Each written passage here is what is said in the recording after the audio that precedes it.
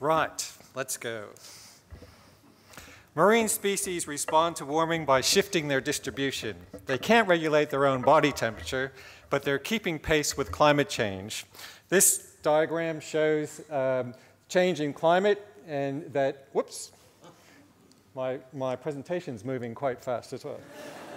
that taxa, the organisms shift along with the climate change uh, latitudinally and also with respect to depth. So marine species shift at different rates and directions, but they're tracking the complex mosaic of local climate change in the sea. Well, what about uh, corals on reefs? We've seen modern coral species migrations now from Japan on both the East uh, China Sea and along the Kuroshio Current in the Pacific Ocean. You can see uh, that through time, the taxa are moving towards uh, the north.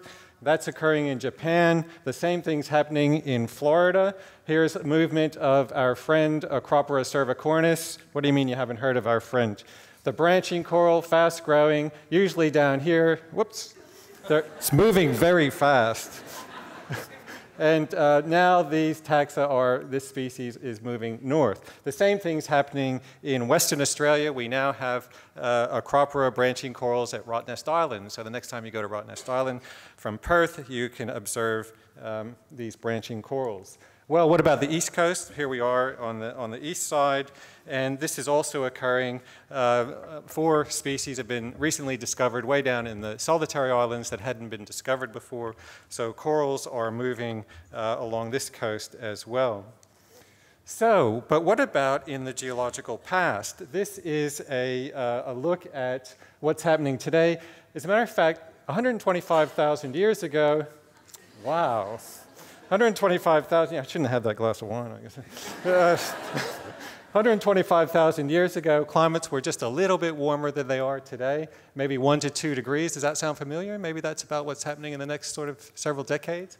So we've got like a, a, a natural laboratory uh, in the geological past that we can look at species distributions of corals. And uh, today we have a very clear demarcation between northern, uh, warmer, um, um, biogeographic zone called the Dampierian province and a southern Flindersian province. Well, 125,000 years ago, we had virtually one uh, single province going up and down the coast. There were coral reefs, not only at Rottnest Island, but also in the Margaret River, and even uh, south around uh, southern part of Western Australia.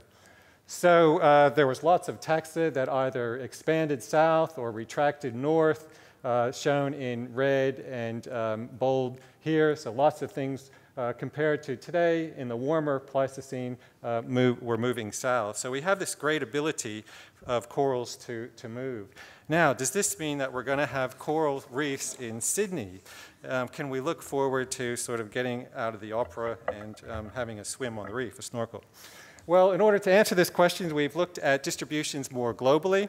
And so this is, the orange is the distribution of modern reefs, and um, the red is where we have some data on the fossil reefs, and we compared uh, what the distribution, the, the species diversity uh, along latitudinal gradients were between the modern and the Pleistocene.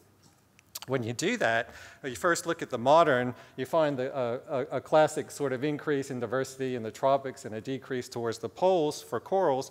But notice this dip here around the equatorial region, E is for equator, and there's about a 10% drop in coral diversity around the equatorial regions.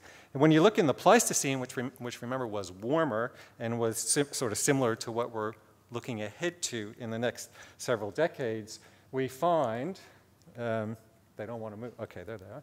Uh, that the Pleistocene equatorial dip is on the order of 35 to 50 percent. So you go from about 120 species that we had that, whoops, oh, I've lost my presentation now.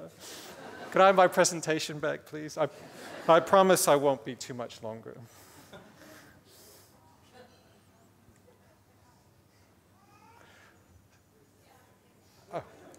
Now I can zip through it. So, no, now it doesn't want to move. So here we go. There we go. Should I be pointing in that direction?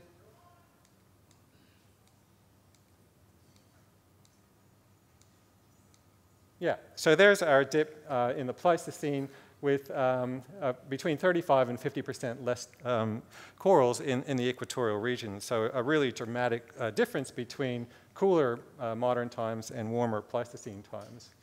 So what does this mean? Um, corals are on the run.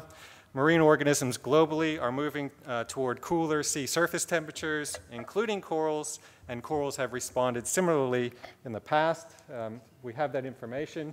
But really, corals uh, from equatorial regions really can't hide. Um, we've lost coral biodiversity during past climate change. What does that mean for the future of reefs in the 21st century?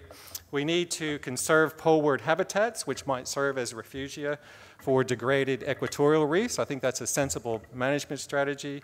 Uh, but all this has to be uh, taken in the context of cleaning up local stressors because if we're too busy degrading uh, our reefs through overharvesting, pollution, eutrophication, and these kinds of things, then uh, climate change isn't going to really matter much because the reefs won't be there to experience it. Thank you very much.